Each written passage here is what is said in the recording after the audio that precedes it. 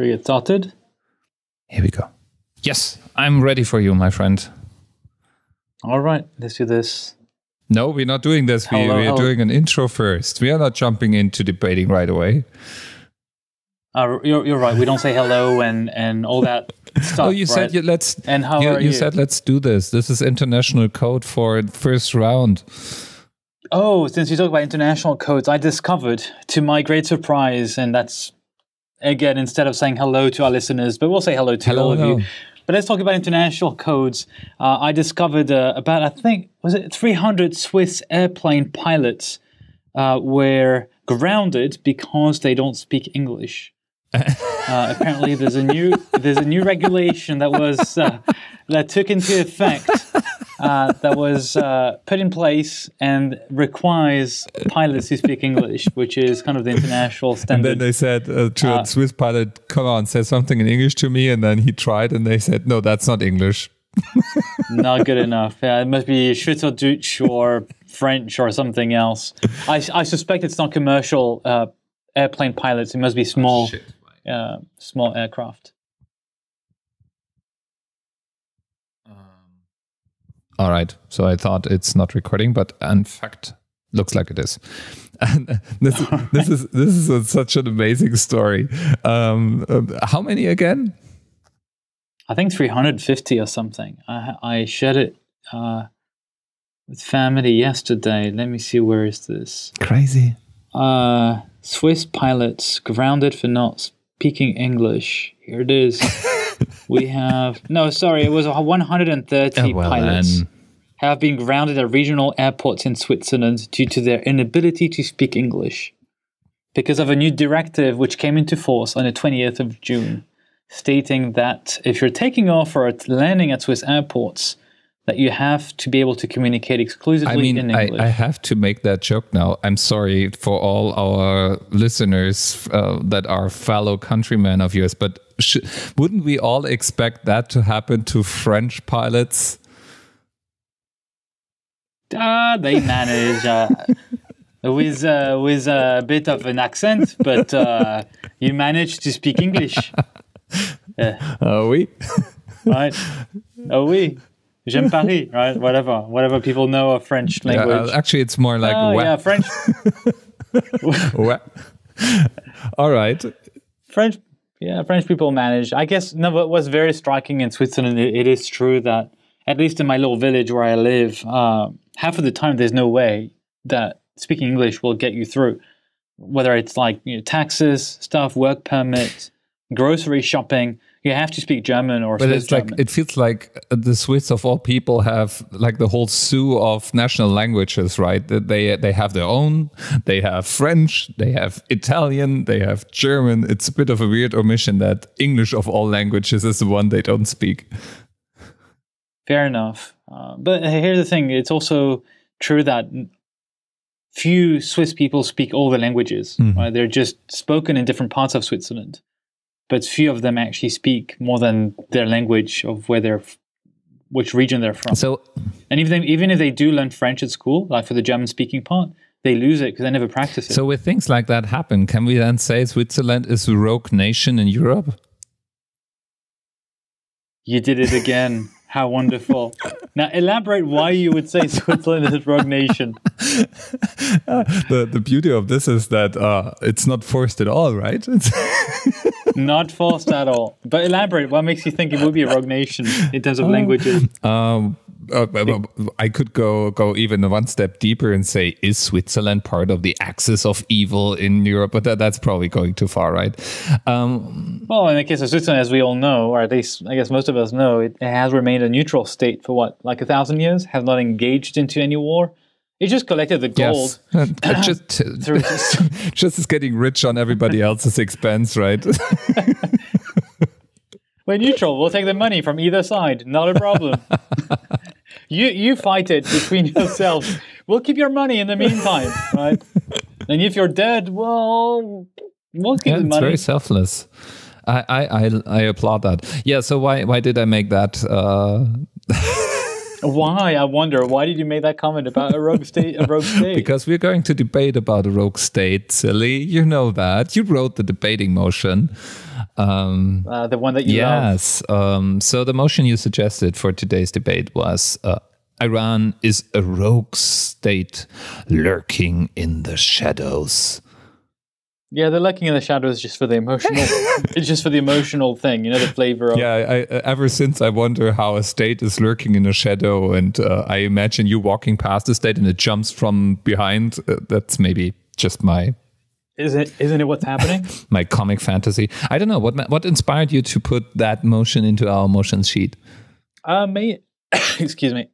Mainly because uh, Iran was in the news lately with the U.S. military drone.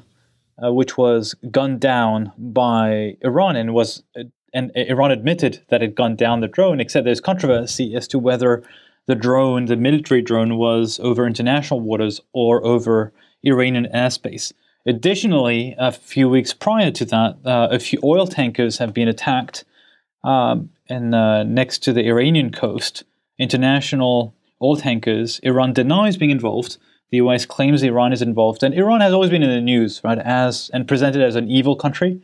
Um, so I was wondering, hey, maybe it's time to talk about Iran. Um, there's a lot of attention focused on North Korea, Iran, Saudi Arabia these days, and I don't know, war war could always start or be triggered because of random events. So I thought it'd be interesting to start exploring it a little bit, even if, as you mentioned off the record, we're no experts. But we do a, we do a little bit of research. We, we read the news and we try to summarize all these thoughts and try to see whether there's one side which would be maybe stronger than the other, and we may indicate whether it's likely or not that uh, we would be engaging in war. Although that's not the debate exactly today, but I think that's the the risk that we, that, that is implicit to this debate. Yeah, that's right. So the lurking in the shadow part is for emotions. Okay, I'm sad now because I was hoping I can can put uh, some debating capital behind showing that there is not that much shadow in Iran and that they cannot really lurk in shadows. But uh, that's clearly just for the emotional value. Now that I understand, I don't know how I'm going to elaborate on that or make a connection on the lurking in the shadows. It just I don't know. It just came with the flow. Um, I guess I could have stopped the. We could have stopped the motion title to Iran is a rogue country. Uh, the extra bit was just for the literary effect. Yeah. So you mentioned I'm not feeling completely at ease with the topic simply because researching it, it becomes pretty clear that there are two things at play. First, it's a massively complex situation in Iran, and secondly, the kind of media we can read and understand because it's not in Arabic, is a little bit simplifying things. That's what it felt to me researching it. So a lot of people are not experts either, but as as we are not stopped debating it just because we are not experts, people are not stopped writing about it because they are not experts. So everybody has an opinion, and it's a bit. It felt a bit hard to to find to to differentiate truth from fact. Um, that's what I felt reading up on the motion. But anyway, it's not stopping us from consuming, as you said, the media and having an opinion and having arguments to look at. And uh, the flip of the coin landed me on the side of defending the motion. So I will say, yes, it is a rogue state. And you are going to be the, the one defending Iran as you have a history to. you, you you enjoy defending things like throwing nuclear bombs on countries. Um, states like North Korea are close to your heart, so it's a, it's just a natural fit that now you defend Iran. My dear friend uh, Kim will be very pleased to to hear that. Um, just just one correction to what you mentioned. Uh, Iran actually, the language of Iran is not Arabic, it's Farsi, and it's actually slightly different from Arabic. Uh, it's actually a very different group, um, origin group. It's Indo-European language, and and Arabic is is more from the African continent um, initially, yeah. or African Middle Eastern continent. Uh, so even though it's the Middle East, Uh, there's this, and, and it's a Muslim country. It's actually not Arabic, but that's a minor But- detail. Yeah, Just to correct you're, you. you're absolutely correct, but that's not the point because you know it's a rogue state, so they are not writing that much trustworthy facts about themselves in Farsi. so for the information, you have to turn to other sources, which often are in other languages. wow, very very nice uh, uh, saving face here. Very very nice. I have to chapeau, like we say in French. Well done. All right, you get started. You got your two minutes. You're allowed to speak English though, international language. Otherwise, you'll be grounded for the next two weeks. That's, uh, yeah, thankfully I, I manage, uh, at least as well as uh, Swiss people, I guess, Swiss pilots. Let's see how well you do. because because we have to tell our listeners for you it's 6 a.m. and you're in the US and you just landed about 24 hours ago or 36 hours ago. So kudos to you. Let's see how, how well you do without mumbling, jumbling I, words. yeah, the listener has to decide, and you can give me feedback. So if the listener finds this episode in their podcatcher, that means I didn't mumble that much. Or, or you right. convinced me that I didn't mumble that much, depending on Okay. preferences. Anyway, Okay, let's do this. Dirk goes first and argues for the motion. Is Iran a rogue state? That question begs a question. What is a rogue state exactly? So, for all purposes, if you if you read through our current Western media landscape, it sounds like trying to have a nuclear bomb qualifies as being a rogue state. I'm not in that boat, honestly. I do feel there are so many countries out there we recognize as not being rogue states that just because you try to have a nuclear bomb or maybe even threaten with it doesn't qualify you as a rogue state per se. What is uh, qualifying you, though, is if you are a force for chaos and conflict in a region, or in case of Iran, even globally. How how come? Why is that? Iran is a kind of complex. Uh, Iran is a complex political system. There are multiple powerhouses. There are even multiple armies in Iran. And what turns Iran into a force for conflict and a source of uh, violence and death in not only the region Iran is central to, is that it has an explicit state policy that is at odds with everything we value and see as important in the Western world. For instance, Iran hates Israel and says so over and over again in public announcements. Highest officials state that Israel needs to be wiped off the map if needed with force. That is that alone is a source of conflict. Iran is uh, kind of the arch enemy of Saudi Arabia. And Saudi Arabia is another powerhouse in the region. And Iran is fighting with Saudi Arabia. All of this would, even, even all of this would not qualify Iran as a rogue state per se. The problem is the way Iran fights. Because Iran spends hundreds of millions of dollars beefing up terrorist organization all across the region, in fact, all across the, uh, the world, and by now is connected to literally thousands of terrorist attacks that killed tens of thousands of people, all with the purpose to destabilize countries they want to see wiped off the map. This is why Iran is a rogue nation, and this is why Iran is a problem that needs to be dealt with. Now it's Sebastian's turn.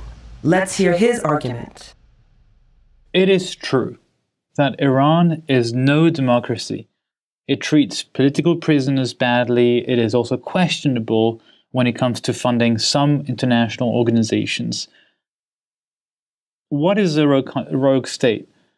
It is a country which threatens world peace, according to one of the US National Security Advisor 25 years ago. And it lumped Iran together with Cuba, with North Korea, uh, with Iraq and Saddam Hussein back then.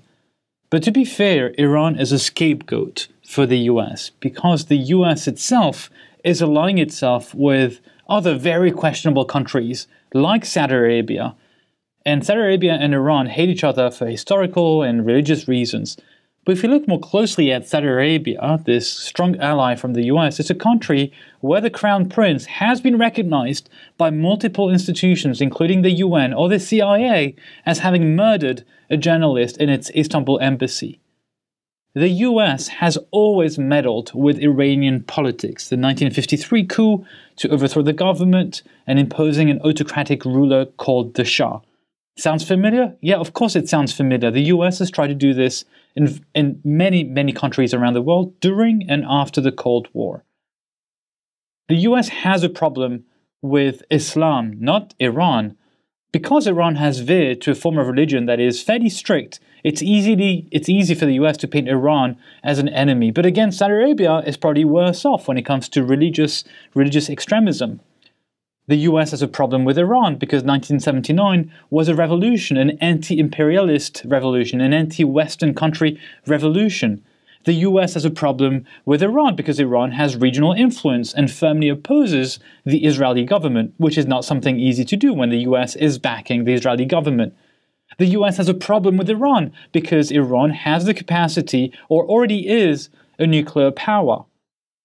Most European countries, on the contrary, don't have a problem with Iran, but because the US bans trade with Iran, has sanctions on Iran, that means any transaction in US dollars is subject to the ban.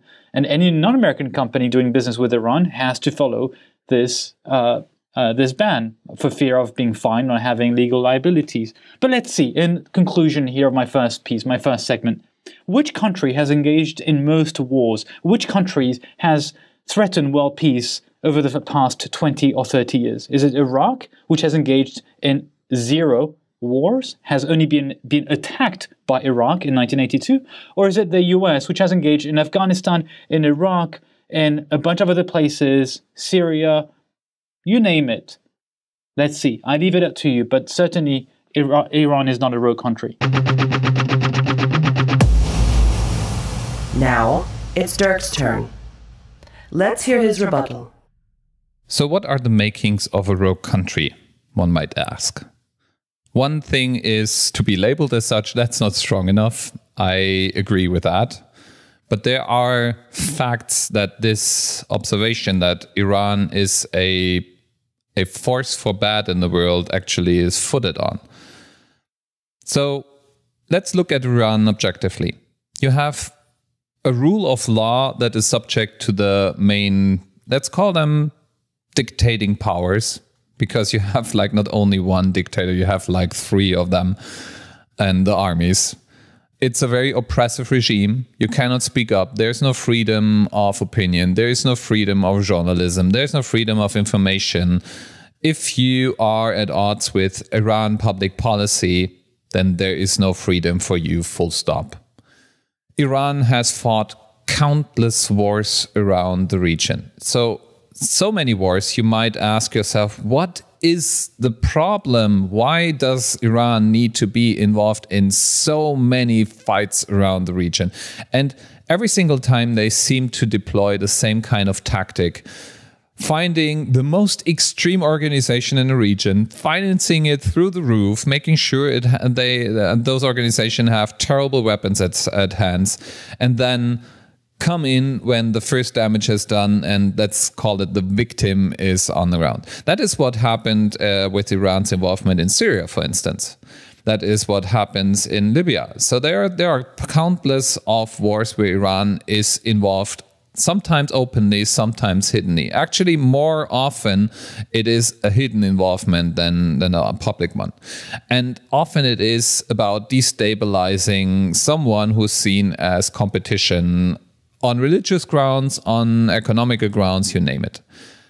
Iran is not making a secret out of its agenda to damage Western players, to fight America, and to fight Israel to a very existential degree. They are not claiming that they, they want to have a discussion over the state of Israel's policy or its place in the global landscape. They want to wipe it, I quote, highest public officials in Iran off the map.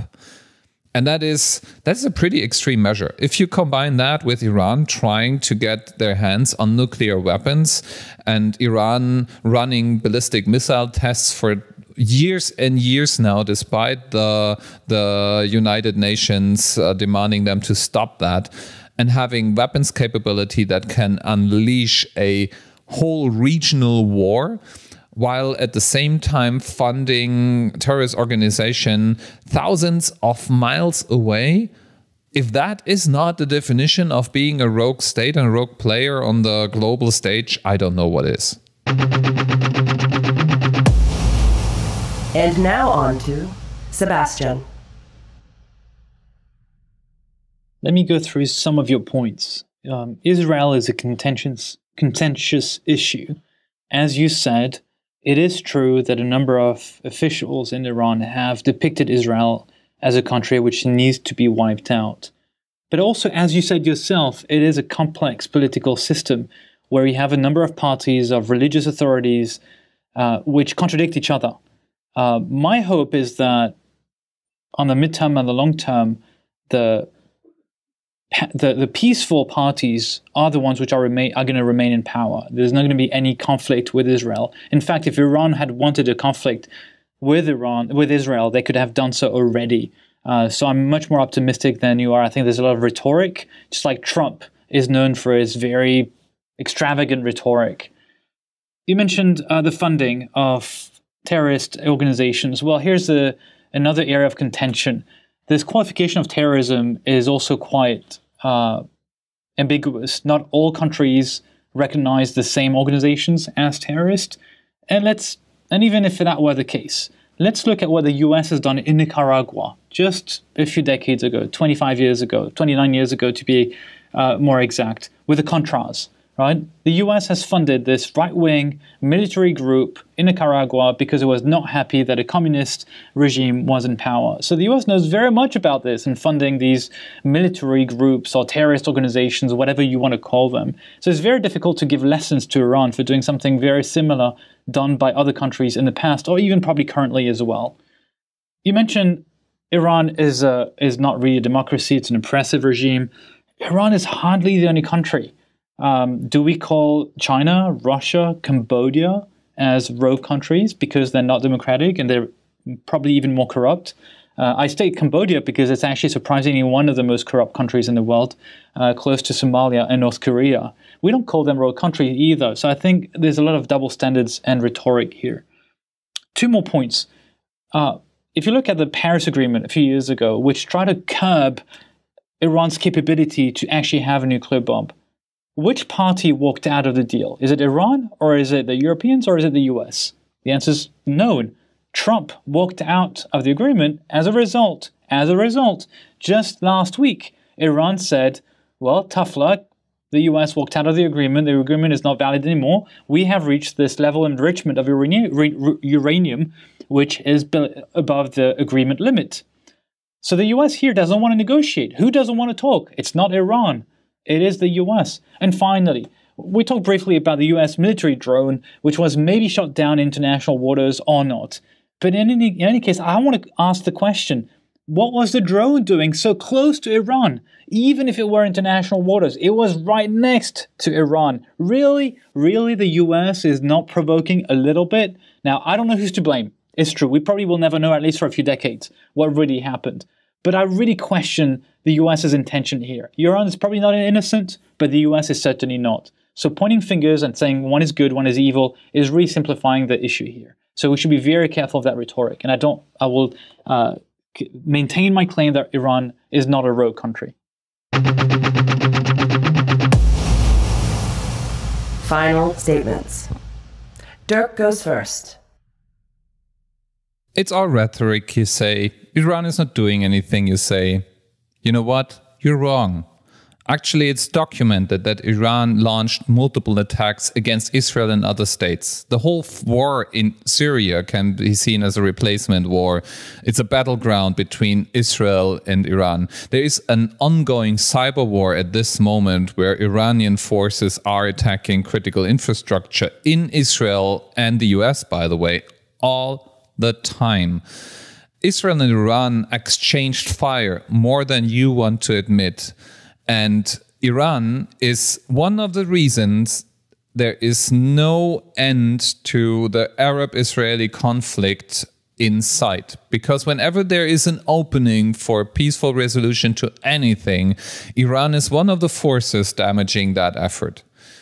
So your statements are just plain wrong. Iran is playing, is a bad actor in the region. Iran is killing people, shooting missiles. In fact, they shot in 2018 in one incident more than 20 missiles towards Israel that were intercepted. Iran definitely is a force for violence, a force for conflict, a force for chaos, and as such, a rogue state lurking in the shadows. Sebastian. Three things in conclusion Saudi Arabia, China, Russia, and even the USA are no better than Iran on so many levels.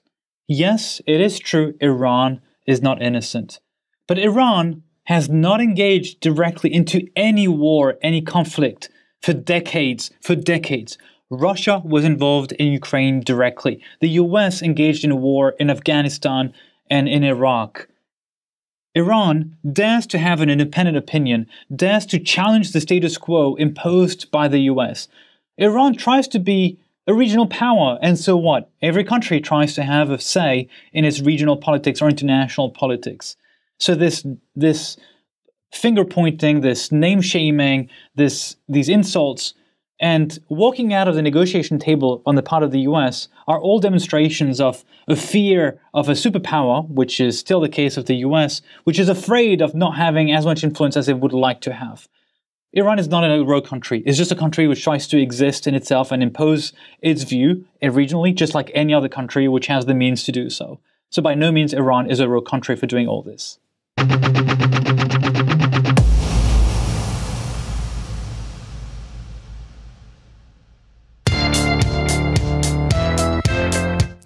Full circle, I can tell you enjoyed this debate, my friend. I uh, I I realized by by being um, by going to this debate or by debating and, and expressing things, I'm probably more entrenched into this opinion indeed that but I already had that opinion before that the US is a bit of a joke when it comes to uh, international uh, positions or sta- stances and and what to do to solve international conflict. I mean, especially with the current government, but even before Trump being in, being in power, I feel that the U.S. has little, little to say in terms of giving lessons to others. But I do I do want to stress it's true that Iran is is uh, has strength, power, could do a lot of damage, but I don't think they're going beyond what anyone would do. Uh, I think in their position. Yeah, that is something I found very interesting as well when I, I researched the topic.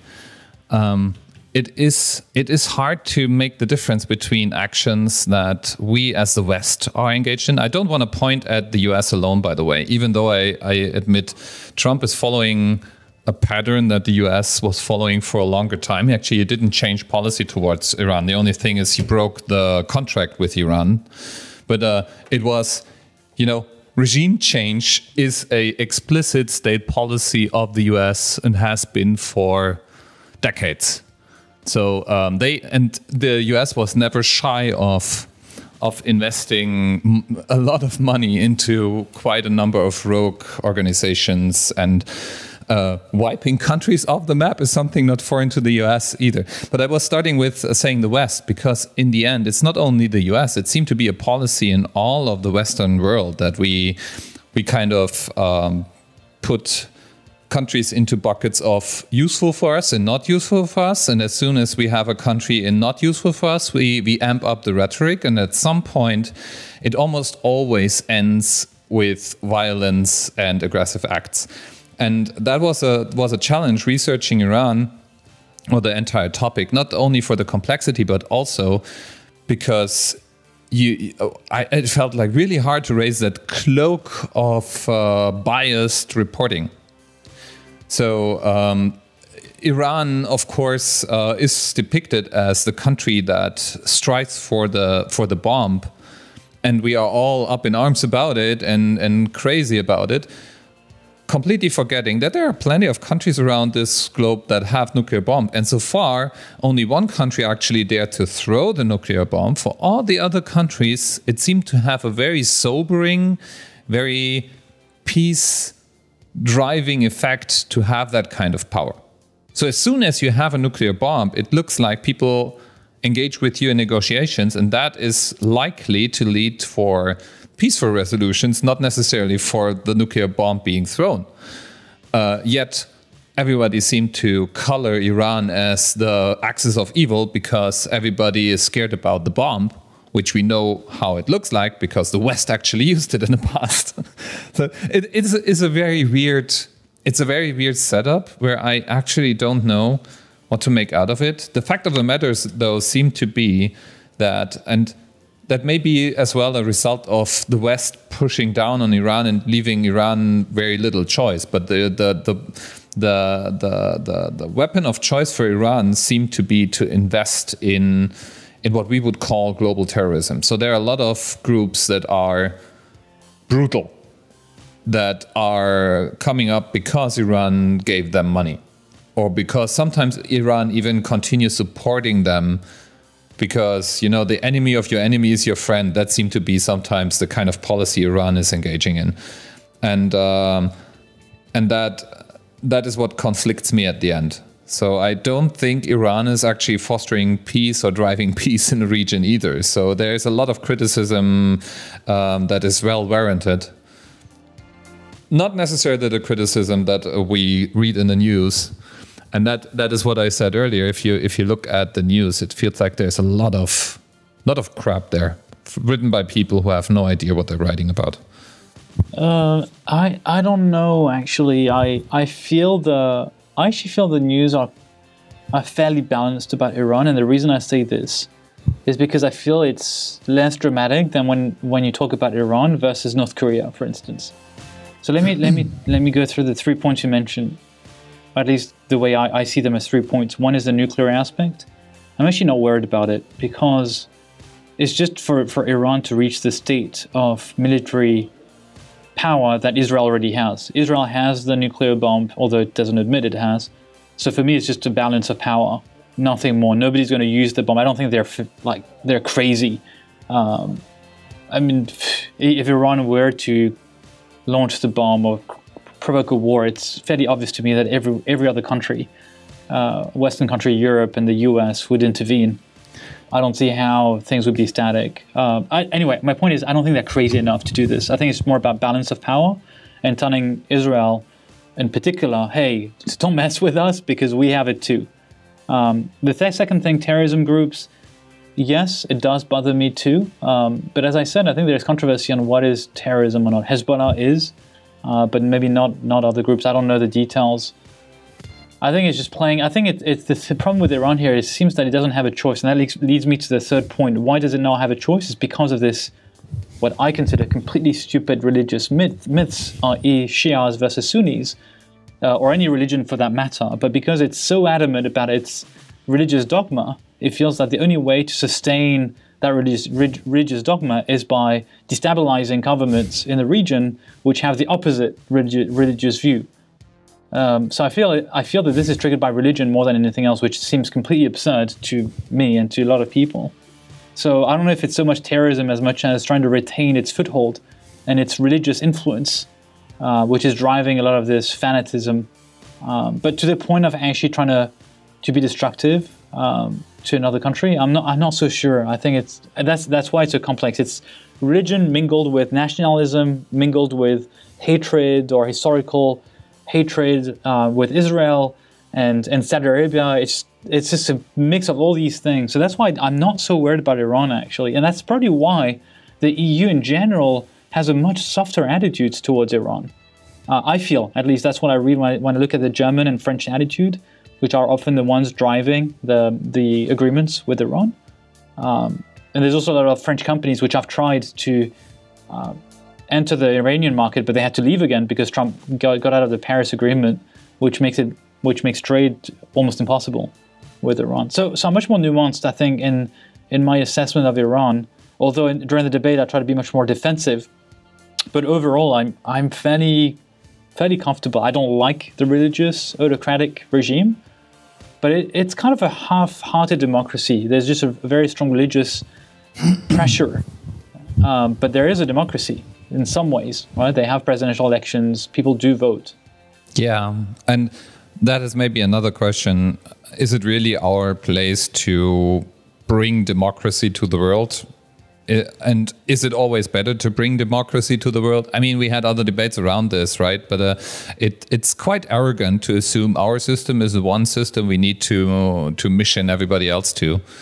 Um, and as far as the bomb goes, if anything became evident in the past couple of months is as soon as you have the bomb, then you can develop a really close relationship with the most powerful leader in the world. Even if you're a brutal dictator on record killing people left and right and uh, oppressing your people. Well, who cares? If you have the bomb, then the American president is making yeah. surprise visits to you and uh, uh, writes you love letters. So uh, if I would be in power in the Iran, I might I might continue pressing for this as well. Um, uh, to be completely honest, it's yes, it is a balance of power thing. Um, on the other hand, make no mistake, there is a war going on everything that's cheap enough to be done is done by Iran. I mentioned the cyber war capabilities of Iran. Hacking is incredibly cheap to have. And Iran is one of the big players on the world stage when it comes to uh, disruptive activities online. Um, but as much as Russia? Would you say as much as Russia? I mean, based on what I'm reading, it seems like Iran is is is tiny, is a dwarf compared to what Russia is trying to do. Everybody is tiny compared to what the U.S. and Russia is trying to do. Uh, the U.S., Russia, and but China, on, maybe. On, you say this, you say this, but Russia is only 100 what 40 million people, and Iran is close to 90 million. Now, it's not just about demographics. Yeah, fair enough, fair enough. Not just about demographics, but just to give a sense, Russia, in my opinion, is losing very quickly its power, and unless it manages to use its whatever Arctic resources or finds a way out, I don't give a lot of positive future for Russia. And that's probably why Putin and others are trying to, I don't know, maybe it's self gain, maybe it's nationalistic pride, I don't know. But I, I don't think it's it's that obvious that Russia is by default a big power and Iran is not. But I do I, it does seem from what we from what I'm reading that Iran is trying to be disruptive, but is nothing in comparison to China or Russia. I don't know it feels it's trying to do what anyone would do in their shoes. Like if Germany or France were was Iran, we'd probably have spies and you know small like stint operations in other countries that we don't like too much. In fact, we did this. French did this in against Greenpeace, but when we sank, sank the Greenpeace boat in New Zealand, right, killing the photographer on board. Uh, how how lame is this? That was the ni- at the end of the 1980s or early 1980s. I can't remember. Uh, how lame is this? This is supposed to be democracy, right? And we sink a Greenpeace boat Oh, come on. You got to be kidding. If it were Iran, you'd not be surprised. If it were North Korea, you'd say, yeah, of course. France, that was less than 30 years ago. All right, so my point here is I don't know. I, I feel that any, any democracy would probably do something similar, and it's not that extreme. Now, maybe I'm naive. Maybe I'm completely missing the point. And again, you're right. Some people have said they want to destroy Israel, and this cannot be defended. But this is not all Iranians. It's a big country. Like it's 85, what, 90 million people? Yeah. So full disclosure, I'm actually um, I'm also playing devil's advocate to a large extent, so I feel similar to what you just said. Um, I think. By the way, we keep coming back to Israel. I feel I, uh, it is is an interesting aspect that Iran, of all countries on the map, they want to wipe out Israel, which is a special case. It's like immediately a high cooking case because it's Israel. Israel is a very close ally, an extreme close, extremely close ally to the U.S. Um, it's it's very very threatened within the region anyway. So saying you want to wipe out Israel of all countries, they are not they're not saying they want to wipe out Saudi Arabia, for instance. They they they say that about Israel, and that is a very destabilizing statement in itself. But I would say no country should threaten any other country to wipe it out. and full stop. That is that in alone, that act of aggression alone qualifies you at least to be not uh, a, a full full open friendly player on the world stage. Um, and I doubt that France or today's Germany, maybe maybe not the Germany um, 70 years ago or 80 years ago, but uh, maybe let, let's focus on today's Germany, would threaten any nation um, with being wiped out. Um, That's fair. I do think um, the kind of organization uh, organizations like Hezbollah Iran is affiliating with, it's kind of a catastrophe in waiting, and they know it, and like they they kind of take into account that they basically fund brutal criminals that are killing people on the world stage, not only in the region. So they they fund uh, activities that are actually well a shame for any any democracy, any country that that wants to be taken seriously on the world stage. So that that is basically where where I would tend to agree that Iran is a bad player. That being said, the Western world is a bad player in many of these things as well. So um, and I we keep coming back to the US because it's so damn visible right now because it's so powerful. And yes, Europe takes a weaker stance at the moment, but Europe has their share on escalating issues in the Middle East as well for shady reasons.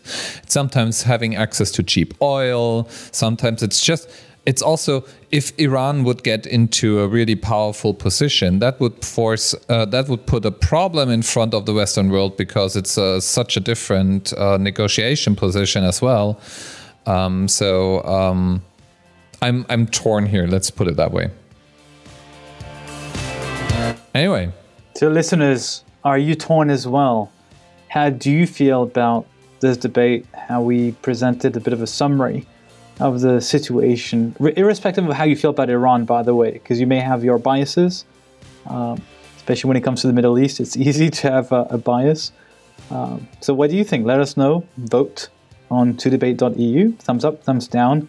You can email us as usual. And uh, that's it for today. You can tune in for our next debate very soon. Excellent. Thank you. Any final words before the nuclear bomb is dropped by some random country? Yeah, maybe it's Switzerland developing the bomb secretly. I'm sure. Maybe maybe yeah. that's yeah. worth another debate. Uh, uh, well, France has the bomb. Uh, Germany is allowed to use the one US bomb they have. Everybody should have a nuclear bomb. Maybe that's the making of a debate.